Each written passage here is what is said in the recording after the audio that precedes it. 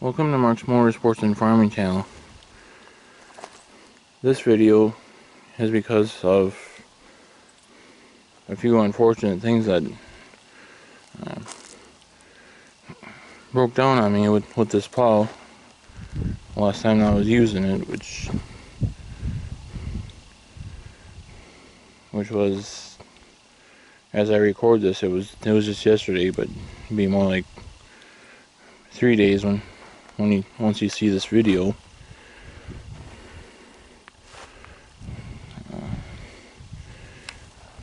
So one thing that happened is that because the ground is so hard this year, we had the whole moldboarding assembly could come off of this fourth bottom here we were able to find that, and I'll I'll show you I'll show that to you at the end of the video here. But I'd, as I was cleaning stuff off, we had we had this break here, so that'll need to be welded or plated or whatever back together. And, and the reason that, that you're seeing the back end like it is is because of stuff that broke here that, that holds that all together. You know, there's one here, one here. This part will have to be straightened and welded back together and, and then there's one there I think those I think those two go together and are and are held by that bolt there.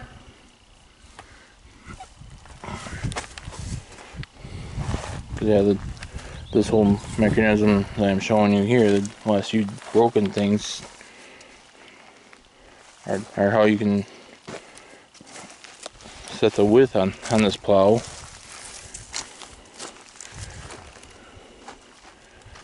Know, as far as how, how wide or narrow of a swath you want to take.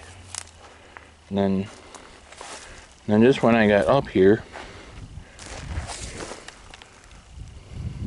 that happened. You know, somehow the bearings must have gave out and then that tire there, which is supposed to be on, be, be there, you know, is laying on the ground rather than sitting on that spindle there so.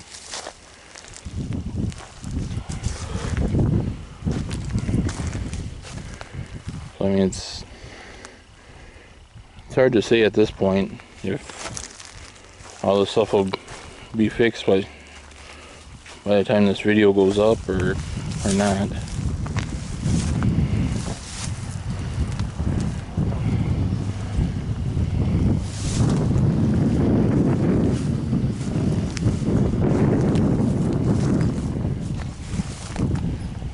yeah, um, that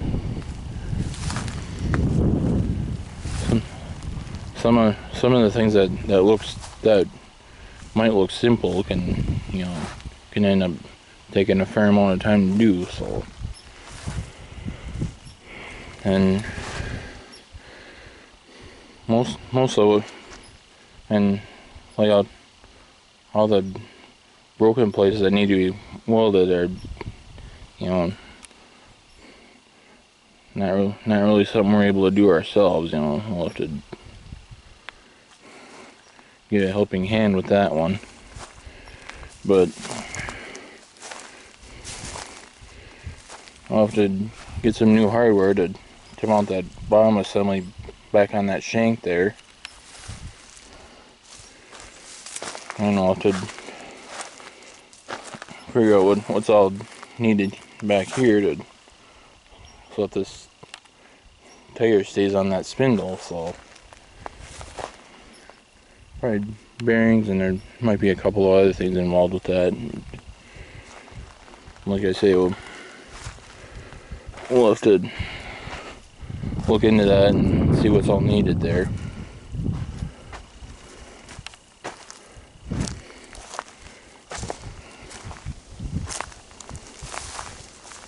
I mean, I'd, I'd rather be doing a video of moving over of, you know, being done with, with this ground here and, and moving over to the other farm and working on that. But right now we can't. And that's basically the the purpose of of this video too is you know farming isn't necessarily all roses you know things do break once in a while and this one's pretty unfortunate since as of now we're we're within reach of being able to get get this done here and move over to the other farm that I have to do yet. But you know to, give you an idea what what that what these broken pieces are supposed to do you know, so these first four bottoms you know, are, are facing one way, and that the back four are facing another way. You know, that, that's what that does is, you know, the hydraulic cylinder here controls that width, and and then, and then these pieces all hold that all together. And,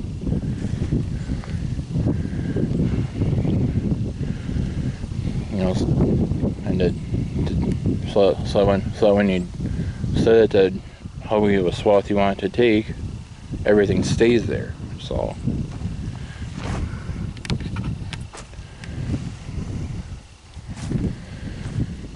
And like I said, I'll I'll give you a little bit of footage of of that of that uh, plow bottom assembly. You know that that we found at the end of the at the end of this video here. And we were actually pretty lucky with that, you know. That, that came off as I was making a turn and not, you know, you know, had halfway through the swath or something like like what normally happens.